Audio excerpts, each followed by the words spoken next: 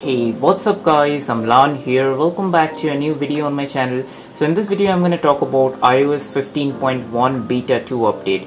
So yesterday night I have received iOS 15.1 developers beta 2 update for my iPhone XR as you can see the update came in about 819 MB on my iPhone XR now if you're having iPhone XR and using iOS developers beta profile the update should come in about the same size and also if you are having the public beta profile installed then the update should be available around the same side but keep in mind that these updates are available and also these updates come in different sizes for different devices. So if you're having maybe iphone 11 iphone 12 or any other devices so the update size could vary for you. So in this video we're going to talk about what's new in this update and there were many bugs present in ios 15.1 beta 1 and as of now many users also complain that they are facing many bugs and many issues with iOS 15 stable update. So in this video we are going to talk about what are the update details, what what the update size and what's new with this iOS 15.1 beta 2 update. So make sure you watch this video till the end but before that if you're new here and happen to enjoy this kind of videos on my channel make sure to give this video a thumbs up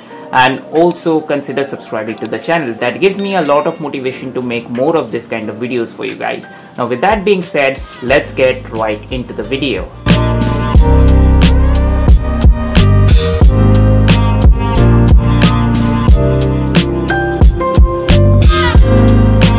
Alright guys, so the first things first, first let me go to the settings and general and about section. So as you can see, if I take a look here, so it says iOS 15.1 and the build number is 19B5052F. So that's the new build number for this iOS 15.1 beta 2 update. Now I had taken a screenshot before so let me show you that uh, if I could just find that. So as you can see before updating the build number was 19B4042H and also before updating as you can see the available space was 28.16 GB and after updating as you can see it has little bit sort of decreased. That's just okay. It's 27.74 GB so now one more interesting thing is that as you can see before updating the modem firmware on my iPhone XR was 3.50.09 and with this iOS 15.1 beta 2 update surprisingly we have got a new modem firmware for iPhone XR that is 4.01.00 that's visible here.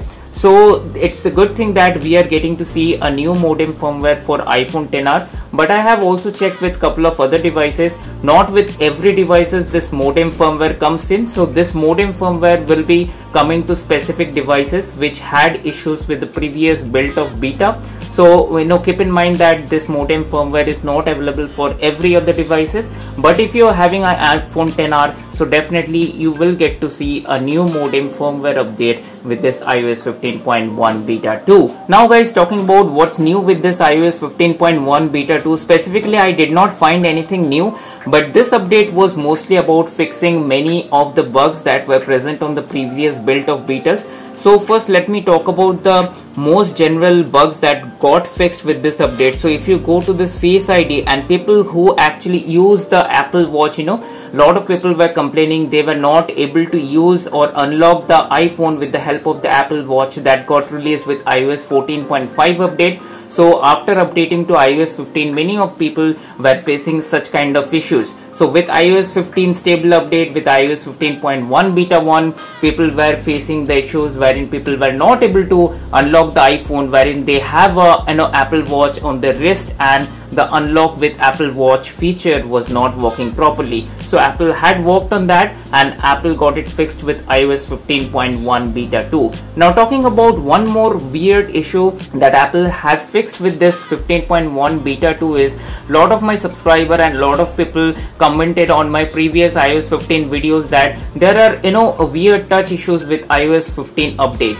so people updated to iOS 15 and after that probably if you tap in photos and if you want to you know pinch in or pinch out a photo or if you want to you know in general if you're you know scrolling through UI if you want to tap an application there are weird touch issues with iOS 15 so that is actually fixed with iOS 15.1 beta 2 update so now let me use this iOS 15.1 beta 2 update for 3-4 days. I will come back to you with a follow-up review whether the issues which were present in iOS 15 those issues are fixed or not. Now talking about the battery life i know a lot of people are interested in battery life. So let me show you before you know taking a look at the battery graph let me go to the battery settings. As you can see the maximum capacity is still 89% so before updating the maximum capacity was 89% and i'm glad to report that after updating to ios 15.1 beta 2 the battery health has not dropped. And also talking about the battery life as you can see this is not my primary device anymore but still